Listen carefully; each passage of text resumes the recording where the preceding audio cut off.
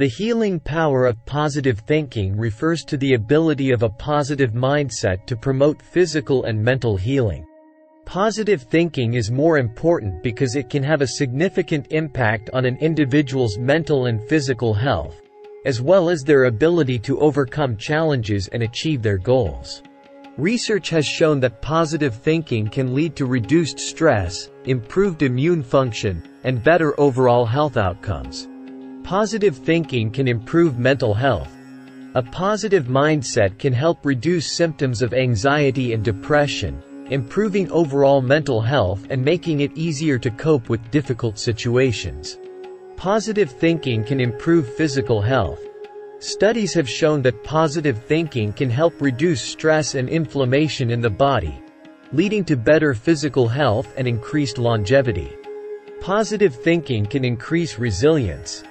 A positive mindset can help individuals develop greater resilience, allowing them to bounce back more easily from setbacks and challenges. Positive thinking can enhance problem-solving skills. When faced with challenges, those with a positive mindset are more likely to approach the problem with a creative and optimistic outlook, leading to more effective problem solving. Positive thinking can improve relationships.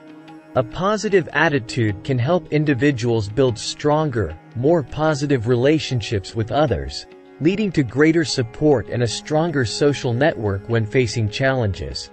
Positive thinking can lead to increased motivation. A positive mindset can help individuals stay motivated and focused on their goals, even when faced with obstacles and setbacks. Positive thinking can improve overall quality of life.